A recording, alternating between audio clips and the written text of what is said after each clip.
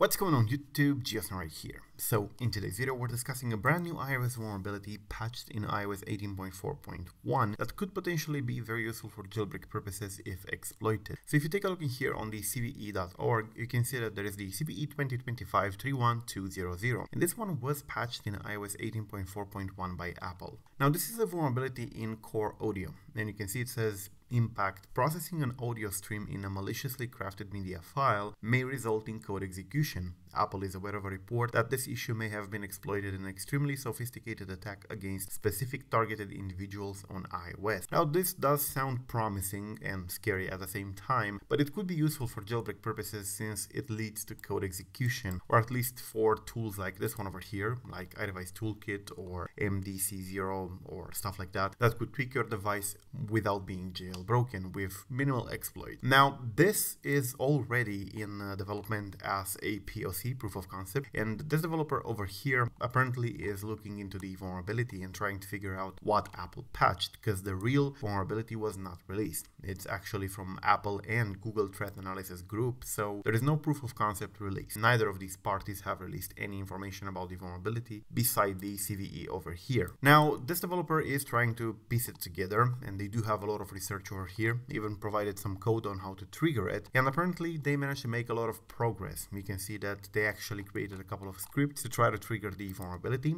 and to create the maliciously crafted MP4 file that would essentially trigger the vulnerability in place. Now, this could potentially be very useful for jailbreak purposes if properly exploited. What we have in here right now is just kind of a write-up, a diff of the versions to see exactly what was patched, and a proof of concept to create a vulnerable MP4 file that would essentially trigger the vulnerability, but it's not really an exploit, so we're gonna have to wait more for that. But from the changelog over here on Apple's security page, it does look like something potentially useful. So I would advise you if you're interested in jailbreaking to stay below iOS 18.4.1. So 18.4, 18.3.2, all of these would do. Don't update to iOS 18.4.1, it's a bad version to be on, both in terms of battery performance and in terms of jailbreaking. I'm gonna link this research down below if you wanna take a look. We're gonna watch it closely to see where it leads, and I'm gonna update you if something interesting comes around. This video is brought to you by ReiBoot, a software that allows you to easily fix your device if it's stuck in recovery mode, DFU mode, and so on. If your device is stuck, for example, in the DFU mode or you have a boot loop caused by a bad jailbreak, then you can fix it with this tool pretty easily. The uh, tool is available for both Windows and Mac OS definitely check it out in the link below. Thank you for watching, I am GeoSn0w.